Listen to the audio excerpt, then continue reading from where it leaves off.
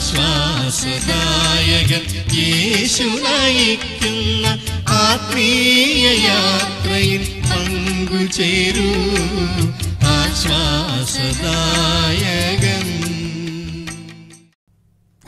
ചിലർ പറയും ഓ എനിക്കാരെയും പേടിയില്ല. ഞാനുള്ള കാര്യം തുറന്ന് പറയും. പക്ഷെങ്കിൽ അവരുടെ ഹൃദയത്തിന്റെ മനസ്സിന്റെ ചിന്ത അങ്ങനെയാണെങ്കിലും അവർ പറയുന്ന കാര്യം ശുദ്ധ അബദ്ധമാണ് മണ്ടത്തരമാണ്. സത്യം അല്ലെങ്കിൽ കാണുന്ന കാര്യങ്ങൾ വിളിച്ചു പറയുന്നത് മാന്യതയാണ്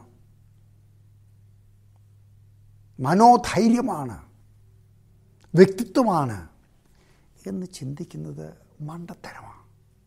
കാരണം.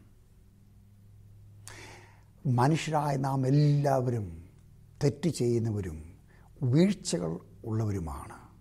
നാം എല്ലാവരും ഒരു യാത്രയിലായിരിക്കുകയാണ്.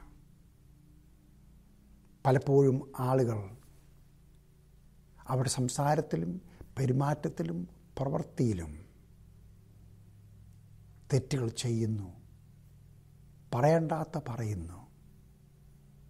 അവരുടെ പെരുമാറ്റങ്ങൾ ശരിയല്ല. എന്നാൽ അവർക്കാവശ്യമായിരിക്കുന്നത് വഴക്കും ബഹളവും താഴ്ത്തിക്കട്ടലും പരസ്യമായി ആക്ഷേപിക്കുന്നതുമല്ല. അവരും വളർന്നുകൊണ്ടിരിക്കുന്നു. അവരും പഠിക്കണം. ക്ഷമയും സ്നേഹവും. അല്ല അവർക്ക് തിരുത്തൽ ആവശ്യമെങ്കിൽ അവരോട് മാത്രമായി രഹസ്യമായി സംസാരിച്ച് സ്നേഹത്തിൽ അവരുടെ ജീവിതം മെച്ചപ്പെടുവാൻ സഹായിക്കുക.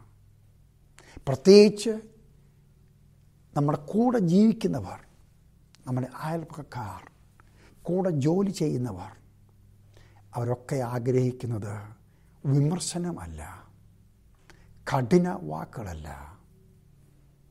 സ്നേഹത്തിന്റെയും കെട്ടിപ്പണിയുന്ന അംഗീകാരത്തിന്റെ നമ്മുടെ പ്രതികരണമാണ് ചിന്തിക്കുക.